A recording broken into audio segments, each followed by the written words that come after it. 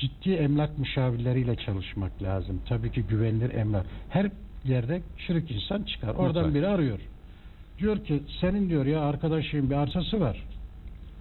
Ona diyor 2 trilyon yani 2 milyon YTL veren var. Sorar mısın bir satar mı diyor. O da diyor ki tabi satarım diyor 300 bin aldığı yeri 300 bin alıyor evet. Şimdi nasıl satmam diyor.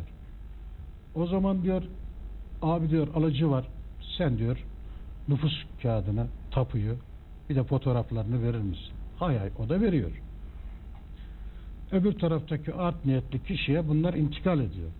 Aradan üç gün geçince tekrar bu arsa sahibinin yakını olan kişiyi o Keçören'deki emlakçı değil tabi. Emlakçı adı altında çalışan kişiler. Bir e, kursunu görmemiş, belgesini almamış, oda kaydı yok, dernek kaydı yok. Vazgeçti diyor alıcı diyor. E o zaman diyor ver şu nüfus kağıdını, bir tapuyu, fotoğrafları geri gidiyor, arsa sahibine veriyor.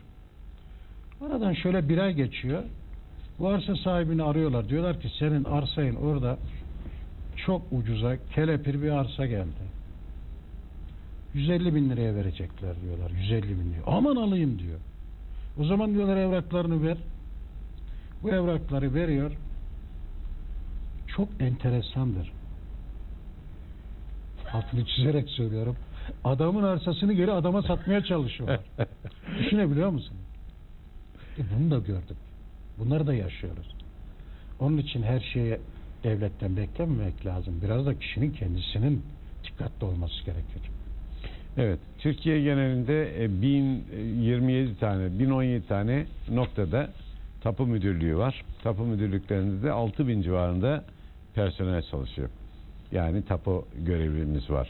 Ve görüyoruz ki 1017 tapu müdürlüğü içerisinde e, yanlış yapanlar, işte adları rüşvete, işte çete olaylarına karışanlar ve son olayda da yine gündeme geldiği gibi işte e, sahte belgelerle belgeler düzenlendiği ortaya çıkınca da bunların e, gözaltına alınması gibi süreçlerde yaşanıyor.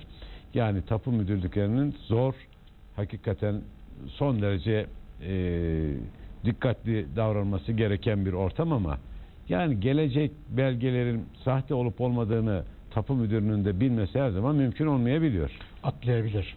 Ama e, şimdi 99,5 99.9 atlamaz. O anda rahatsız olabilir. E, insandır, beşer şaşar. O anda bir atlama ama yalnız tutup da onun nüfusu arayıp da nüfus idaresini bunun nüfus kağıdı doğru mudur? Yoksa noteri arayıp e, bunun aldığı vekalet doğru mudur diye araştırma diye görev önüne gelen evraka bakar. Ama şüphelendiği takdirde mutlaka arar. Ben nitekim o anlattım size demin anlattım. E, bir İstanbul'dan bir grup şebeke Ankara'ya geliyor. Ankara'ya geliyor. Ankara'da Dikmen'de büyük bir arazi. Beş buçuk dönüm. O zamanın parasıyla onda bir fiyata satacağını söylüyor. Şimdi onda bir fiyatına satılacağını söyleyince burada bir şüphe oluşuyor. Hemen ben bundan haberdar oldum. Hemen tapu müdürünü aradım. Böyle bir olay gelişebiliyor. Oradan bir arkadaş aradı. Beş buçuk dönüm araziye çok düşük bir bedel istiyorlar. Aman haberiniz olsun. Hemen tapuda tedbir alındı. Vekalet öyle bir sahte ki adamın kendinin doğum yeri Edirne mülk sahibi Sivas'ta ve Almanya'da kişi. Onların belgelerini bulmuş, nüfus kayıtları nasıl bulduysa bulmuş, sahte vekaletle satış yapmaya kalkıyor. Hemen e, tapuda suçüstü yapıldılar. Cezalarını da gördüler. Tabi burada da tapu müdürünün büyük başarısı bizden sadece gördüğümüz, şüphelendiğimiz kişiyi bildirmek kalıyor. Yani o yüzden tapu görevlilerine böyle hepsine suçlu gözüyle bakmak falan son derece yanlış Yani gibi her gözüküyor. kesimde mutlaka iyisi de vardır, yanlış yapabilecek insanlar da vardır. Ama orada eğer tapuda benim mesela yıllardır 30 yılı geçmiş bir mazimiz var. Eğer tapu dairesi içerisinde çürük bir kişiden şüphelenilirse onu fazla barındırmazlar. Öbür arkadaşları mutlaka yanlışlığı yapabilecek kişiyi bir vesileyle üst makamlara onlar intikal ettirirler. O kişiyi derhal alırlar. Ama üst düzeydeyse dediğim gibi bir sepetten bir kırık yumurta çıkabilir. Ama bu demek değildir ki tapu dairelerinde e, rüşvet kol geziyor.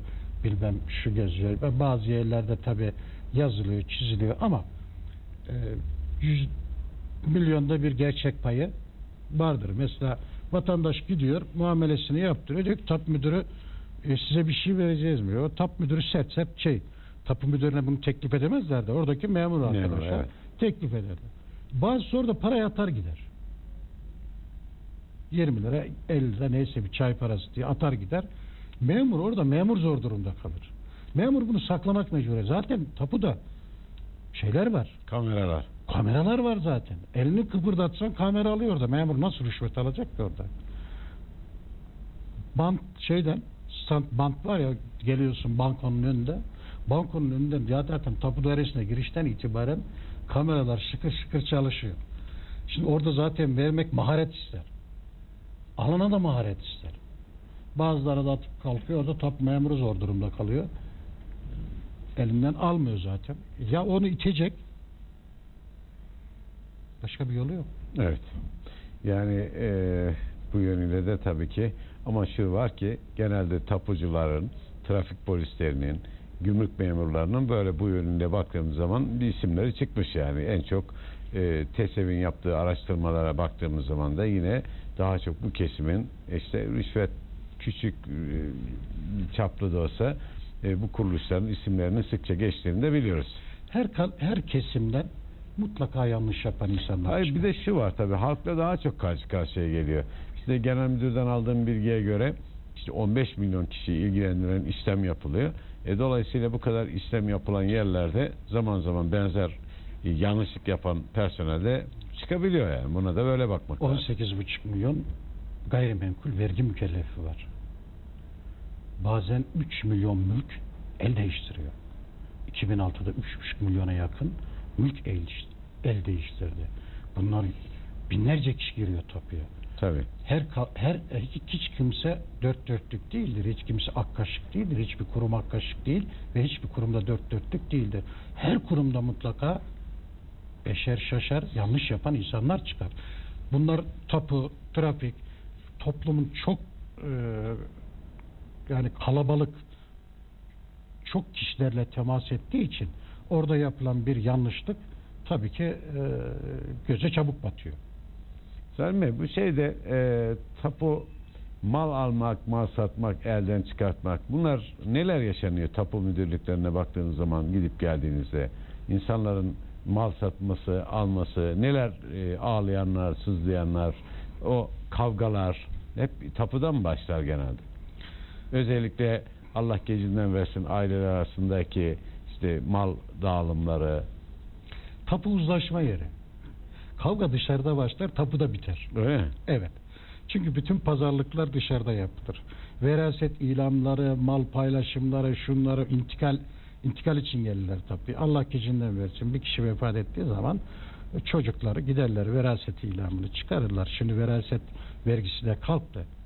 Ee, giderler vergi dairesine oradan ilişkisik belgesini alır gelir üzerlerine intikal yaptırırlar. Evet. Tapuda kavga az olur. Çünkü tapu bir sevinç yeridir. Alırken tabi vatandaşlar çok sevinir.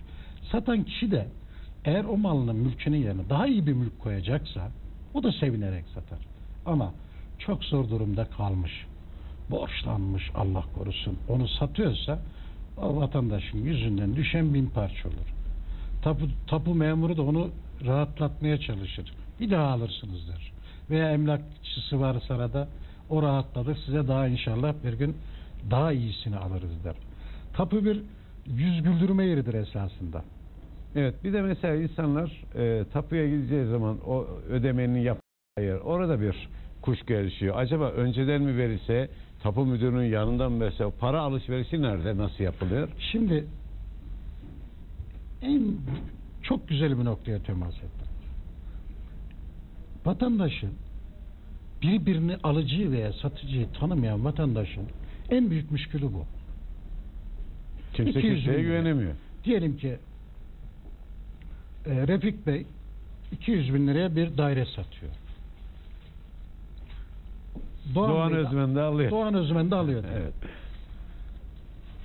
Birbirlerini tanımıyorlarsa. Şimdi tapuda muameller yapılıyor. Şimdi ama vatandaş da haklı. Sokaktan 100 tane adamsa 75 kibirini dolandırmak için geziyor. Vatandaş kime güvenecek? Evet. Şimdi ne yapıyor o zaman? Şimdi ne yapalım diye. Eğer arada emlak müşaviri varsa bu sorun kendiliğinden çözülüyor. Emlak müşaviri diyor ki mutlaka alıcıyı veya satıcıyı tanıyordur. Kefili benim diyor. Buyurun diyor sayıyorlar. Ya çantayla yanlarında götürüyorlar ki artık şu son 4 senedir çantayla yanına götürme olayı yok. Kapkaççılık olayı çoğaldığı için. Eğer güveniyorsa, birbirlerine güveniyorlarsa emlakçıya teslim ediyorlar. Kasaya koyuyorlar. Atıyor imzayı gelip parayı teslim ediyorlar. Ne zor, o da zor ki, bir şey. Tabii o tapuya gidene kadar Allah korusun satıcıya ya bir şey olursa. Ölüm insana gözünden yakın. Evet, 9 doğurur insan oraya gidene kadar. 200 bin bazen 1 milyon tabii. dolarlık falan bir işlem oluyor. o zaman en sağlamı iki tarafta sağlamcıysa, iki tarafta pipirikliyse, iki tarafta birbirine güvenmiyorsa şu sistem şöyle çalışıyor. Tapuya gidiyorlar. Orada bir yakın oluyor satıcının. Satıcı mı? Evet. Alıcının da bankadaki yerde bir güvenli oluyor. Karşılıklı telefon banka müdürüyle bloke çek almamız eğer. Şimdi de bloke çek olayı var. Bloke çeki yanında getiriyorlar. Diyor ki imzalarken birini de ucunu gösteriyor şeyi. Bloke çekin. O imzalarken bloke çeki veriyor olay bitiyor. Ama bloke çeki veren e, satıcı bankada mutlaka bankaya gidiyor bloke çeki hazırlatıyor falan. Veya bloke çek olayı olmazsa O zaman veya deyip biz de kısa bir ara verelim ve reklamlarımızın arkasından yine bu konulara değineceğiz. Tapudaki olaylara ve e, önümüzdeki dönemde insanların ev alması, arsa alması, kooperatiflere girmesi, orada yaşanan yine benzer dolandırıcılık olaylarına karşı ne gibi önlemler alınması üzerine duracağız. Kısa bir reklam aramızın ardından.